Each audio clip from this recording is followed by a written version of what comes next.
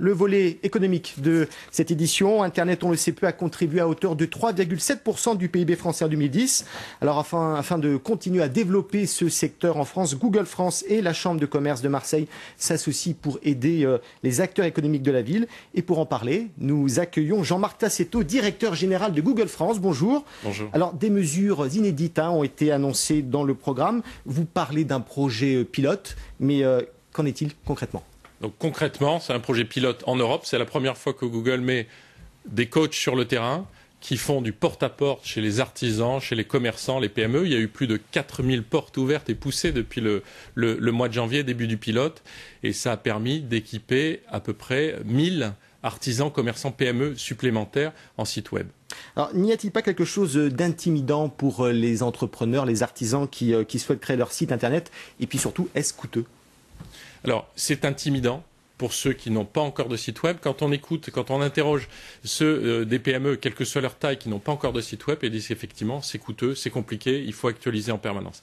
Donc c'est pour ça que nous sommes ravis d'être partenaires de la CCI Marseille-Provence et, et, et, de mettre en avant aussi euh, des commerçants, euh, des PME comme euh, au vieux plongeur, comme la torréfaction Noailles, comme la boutique officielle de l'OM, qui eux ont fait leurs preuves sur le web et qui peuvent dire à leur père c'est pas si compliqué que ça.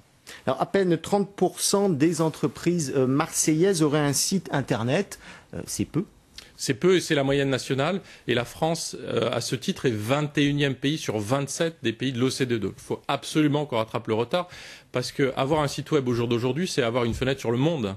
Et si vous avez des clients dans votre quartier, si vous avez des clients dans votre ville, dans votre région, vous avez probablement des clients dans le monde entier. C'est ça qu'on est venu dire aujourd'hui. Le numérique peut contribuer à la croissance des entreprises et ce, et ce malgré la crise euh, Presque surtout en situation de crise. Hein, parce que le digital, euh, il y a à peu près 4 milliards de requêtes tous les jours sur les moteurs de recherche. Donc vous avez des clients en permanence qui sont en train de chercher vos produits sans que vous le sachiez, sans que vous puissiez les atteindre.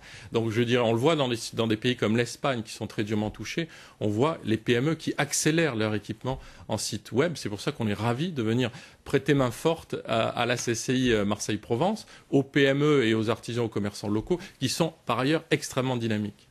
Alors, autre question, cette fois liée à l'actualité, Google France serait dans le viseur du, du, fisc français. Une procédure de redressement fiscal serait en cours. On parle de 100 millions d'euros. Est-ce que, est -ce que vous confirmez? Alors serait, serait, ça fait beaucoup de conditionnels. Hein. Nous, on ne commande pas les rumeurs. Par contre, on est évidemment ouvert et on travaille avec l'administration.